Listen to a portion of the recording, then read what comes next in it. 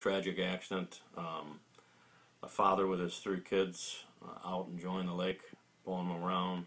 A boat uh, owner who lives on the lake also out just cruising in the lake. Father doesn't see the boat. Boat doesn't see the kids in the in the tube. Um, a true tragedy. It, Right now, unex- unexplainable. Marine Division is handling from the sheriffs. Yeah, they, we've, we've asked the uh, Oakland County Marine Unit to handle the follow-up investigation on this.